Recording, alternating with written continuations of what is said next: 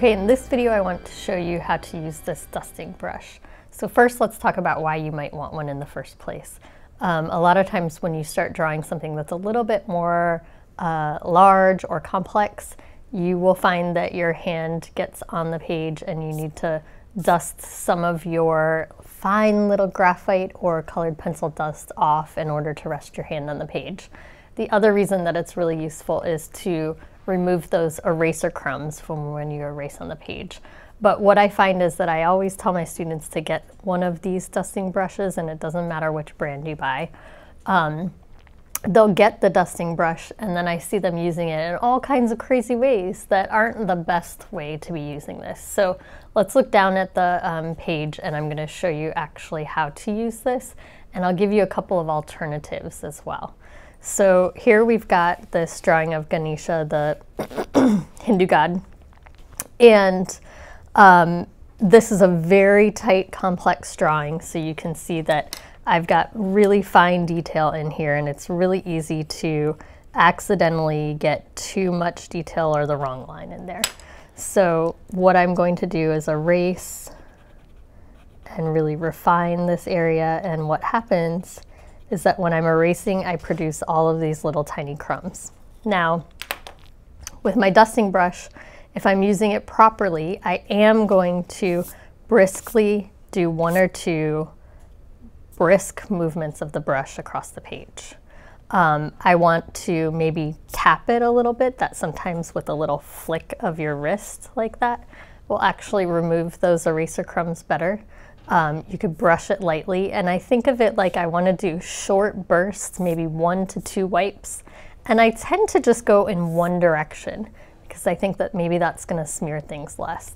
So remember the reason that you aren't using your hands to remove those is because your hands have oils in them that will smear the page.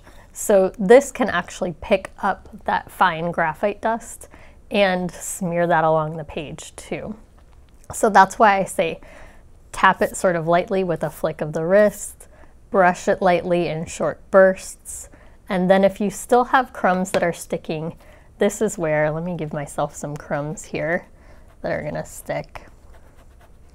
This is where you're going to want to, if you can't get them removed with the big dusting brush, switch to just an old paintbrush. So this is a watercolor or acrylic brush that I had in the studio and one of my students used it. You can see it's got paint all over it.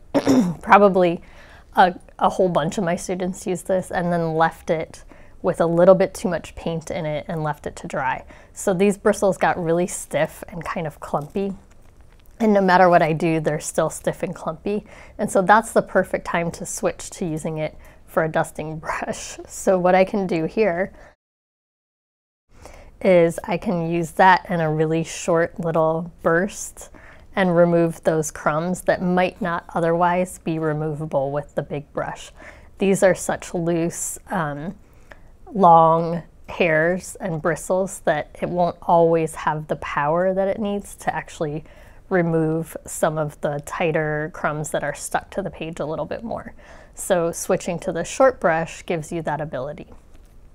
Um, if you still get little crumbs that are sticking to the page, go ahead and check out this video because I have a good way for you to um, remove those with another tool, but that's in a separate video, so check that out.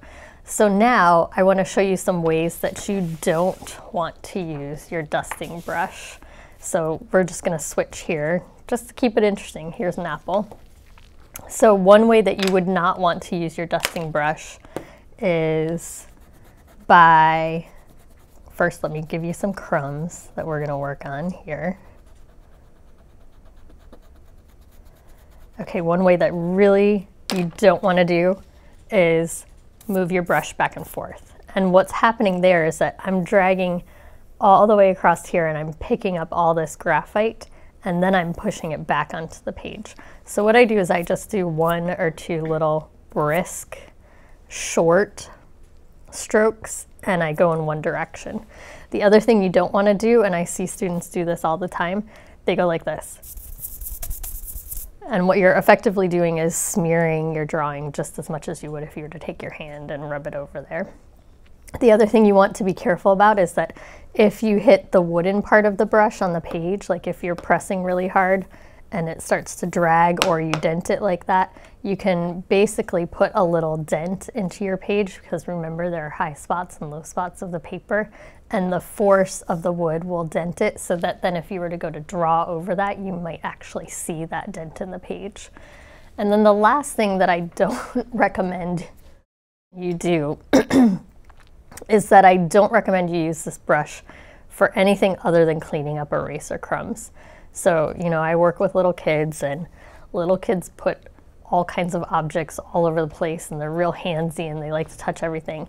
And so a lot of times my little goofy kids will take this and run it across their face or they're gonna like start to play with it on their hair and pretend that it's a real brush. So you don't wanna do something like that because it will pick up the oils and the dirt um, or paint or you know food, whatever other uh, objects or items that you have in the studio that could smear onto this, this will be sensitive enough to pick it up. So the only other thing I use it for is to wipe the work surface table. When I'm done, I want to clean up all those eraser crumbs and then I just kind of dust them right into the trash.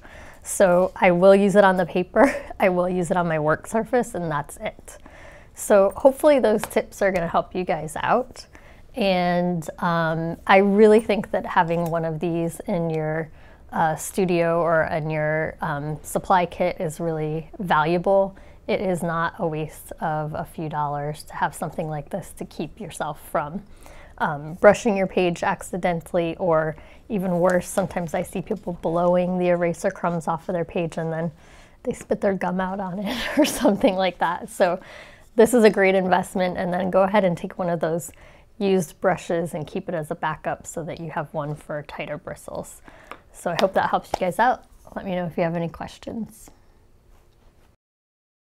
Thank you all so much for watching. Make sure you subscribe to my YouTube channel, LZM Studio, where I frequently release quick tips and all kinds of different ideas about drawing.